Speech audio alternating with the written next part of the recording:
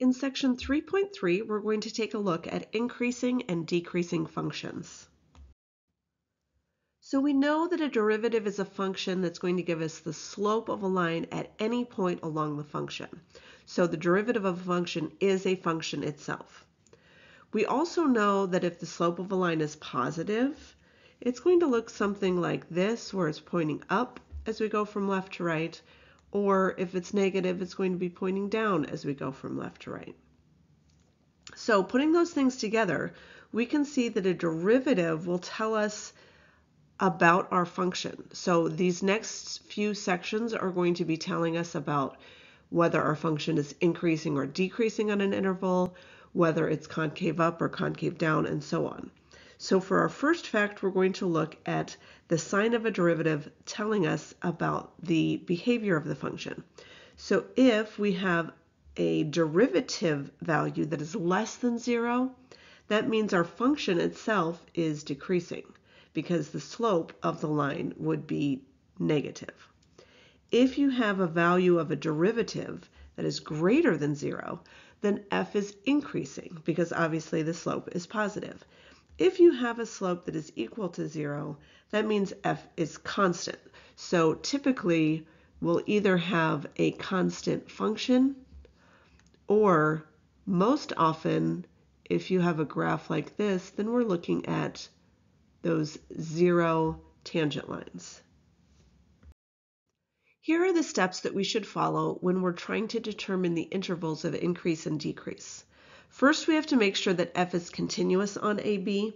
And this one's kind of silly because we are also going to find the critical numbers. And remember, critical numbers are where f prime of x is equal to 0 or f of x is undefined.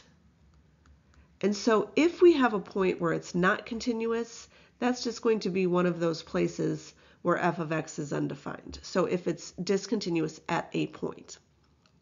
Then we're going to take the domain, whether they tell us the domain or it's implied, and we're going to break it into intervals divided by the critical numbers.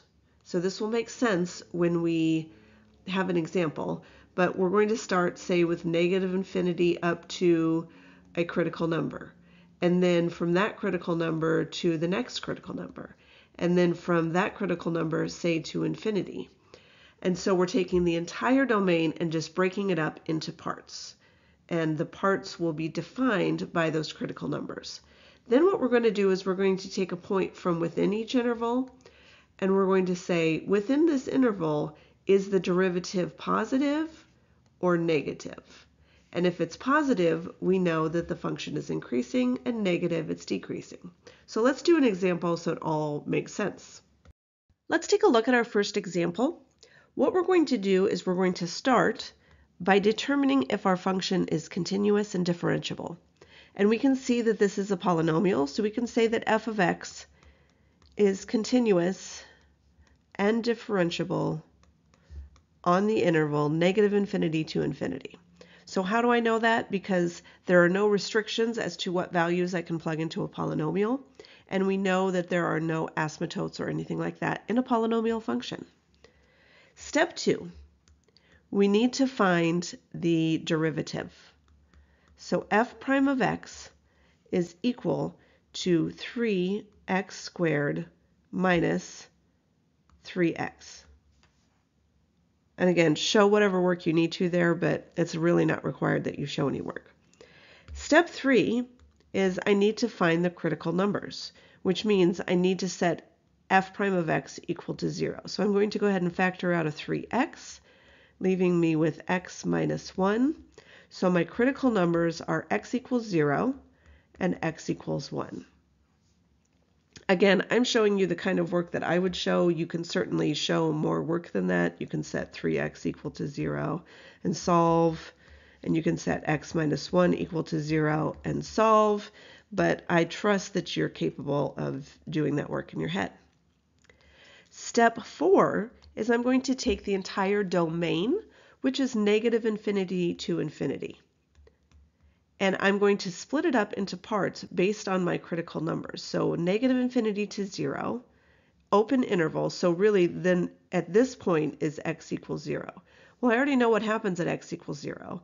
I'm going to have a 0 tangent line, a 0 slope tangent line. So then from 0 to 1, what's happening in that interval? Well, obviously this is x equals 1, where I'm going to have a 0 slope tangent line. And then this is 1 to infinity. So I've taken my entire domain and cut it into parts. Now, typically I wouldn't show this middle step, but I'm going to go ahead and do it just since this is our first time doing an example. What I want to do is I want to find a test point. I want to find some value that's say between negative infinity and zero. So say negative five. And a point that's between zero and one. So that's one half. And a point that's between one and infinity. So I'm going to choose two. It doesn't matter what value you choose. It just matters that you cannot choose 0 or 1 because we already know what happens at 0 and 1 is that our tangent line is going to be equal to the 0. The slope is equal to 0.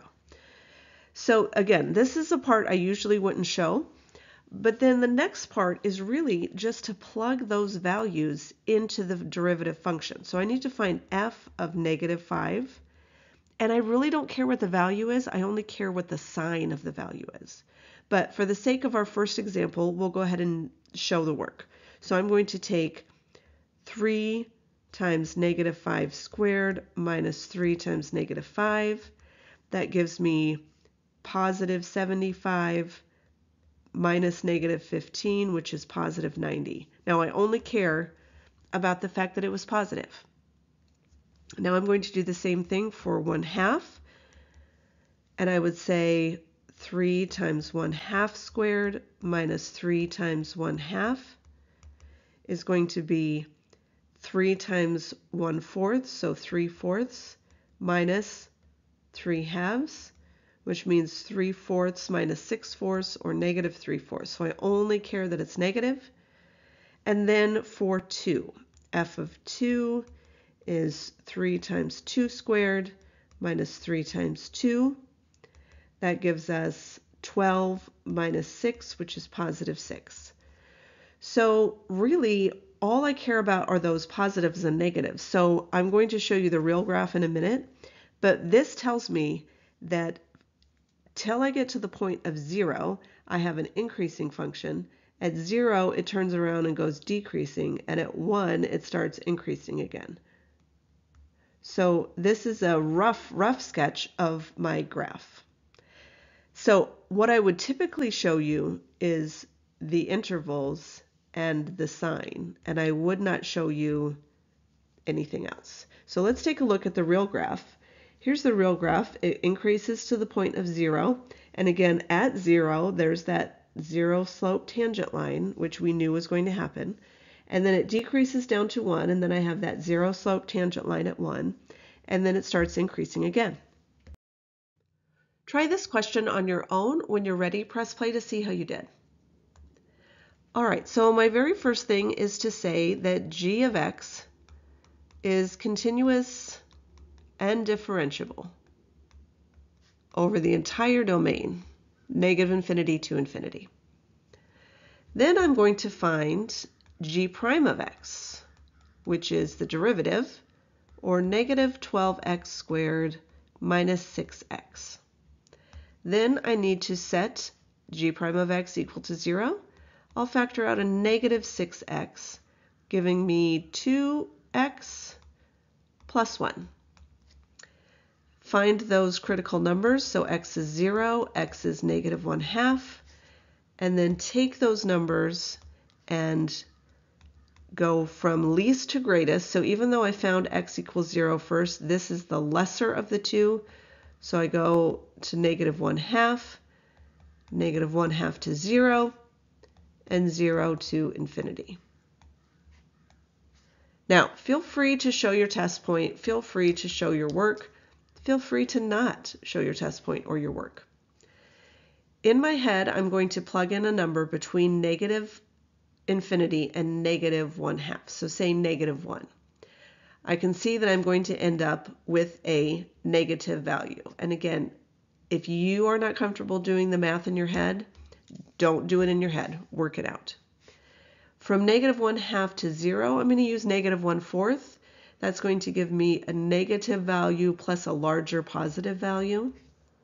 And then from 0 to infinity, say I'm going to plug in 1. So that gives me a negative minus another negative, which is a negative. So again, just based on that, I can see that my graph is going to go from negative infinity to negative 1 half is going to be decreasing. I know it's going to increase till I get to 0, and then it's going to decrease again. So something like that.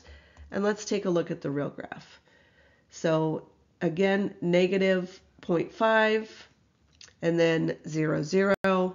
And again, we're, we haven't talked about those y values yet. We'll get to those in our next video. I wanted to throw in one last practice that was not a polynomial function. So this is obviously an absolute value function. Good news is it is continuous, so f of x is continuous over the entire domain. I didn't put differentiable because technically this is not going to be differentiable at the corner because obviously an absolute value is going to look like a v and it's not differentiable at a corner like that. Step two, we have to find f prime of x. Uh, we haven't done this before for an absolute value function, so notice I've included how to find the derivative. So this is saying to find the derivative of the absolute value of u, we're going to take, so think of u as x plus 7. So we're going to take u, so I'm going to keep my 3 in there. And then I'm going to take u, which is x plus 7, divided by the absolute value of x plus 7. I'm not even going to put it in parentheses. So 3 times x plus 7 over the absolute value of x plus 7. And then u prime means if you have a derivative of x plus 7, then you would multiply by that, which is just 1, so we don't have to worry about it. Step 3 whoops, set that baby equal to 0 and find the critical numbers. So 0 equals 3 times x plus 7 over the absolute value of x plus 7. Let's multiply each side by the absolute value of x plus 7. That gives me 0 equals 3 times x plus 7. Divide each side by 3. Subtract 7 from each side. So there's my critical value. Now what am I going to do? I'm going to, I only have one critical value, so negative infinity to negative 7, negative 7 to infinity. Then I'm going to plug them back into the derivative function. So let's take, say, negative 8. Well, that would give me negative 8 plus 7 on the top, which would be a negative on the top, and then negative 8 plus 7, which is negative 1, absolute value makes it positive. Negative divided by a positive is a negative. Let's do the same for, say, 0. On the top, I would have 7, which is positive. On the bottom, I would have 7. Absolute value is still positive. So decreasing to negative 7, increasing after that. And if we take a look at the graph, we can see we did it just fine. Up next, we're going to take a look at the first derivative test.